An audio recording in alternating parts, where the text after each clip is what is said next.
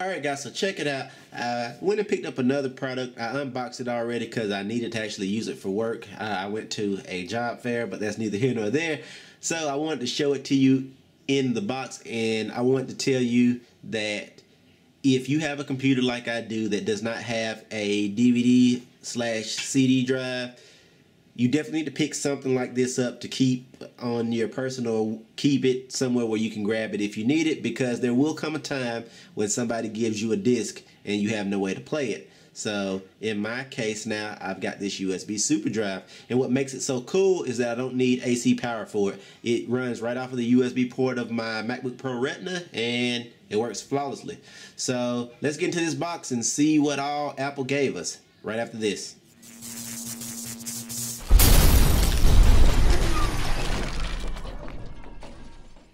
Alright guys, so let's open the box and see what's inside. Let's look at it first. Uh, it says on the front USB super drive is pretty minimalistic. Uh, on the side you get the Apple logo and I think you get on the other side. And on the back it shows you basically how you would hook it up. Disc goes in, plugs into USB, voila, displays on computer. Or if you have your computer hooked up to an HDMI out or something else, it'll play there. Point is, is that you can make pictures with disc through this.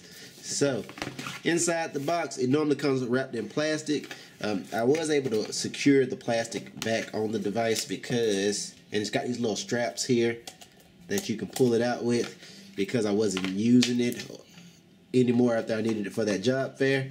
So, we'll leave the actual device out. And it's that nice aluminum that matches my computer. There's some literature inside the box. You got, uh, talks about the USB super drive and talks about how it works. And it's basically the same drive that used to be included inside of the computer that they opted out of because they want to make it thinner and lighter. So it shows you there's no drivers. This is all the warranty, one year warranty, that's standard. And it basically just, once you plug it in, it works. I mean, it's as simple as that.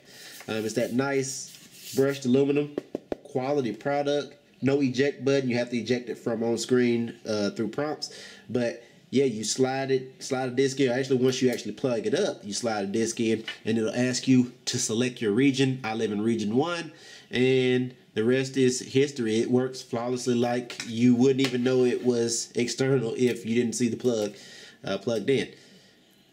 Here's the USB actual plug, pops right in. Uh, you don't get a power light or anything like that. You kind of have to force the disc in initially, and after that, it just works. So for 80 bucks, 79.99, I picked this up. It is a great product to use. I'm going to be using it for work. That's why I bought it. But if you are in need of a disk drive slash writer, and I guess this thing will write and burn. Yeah, it's a super drive, so it should do everything. So if you're in need of a disk drive burner writer reader for your computer or if yours has gone out on your computer this is a great option from apple for under 100 bucks. Can't beat that. I know there's cheaper options on the market but the build quality on this thing makes it worth the money in my opinion. Let me know in the comments what you think if you own this product or if uh, you think i'm crazy for buying it. Love to hear from you see you in the next video. I'm out. Peace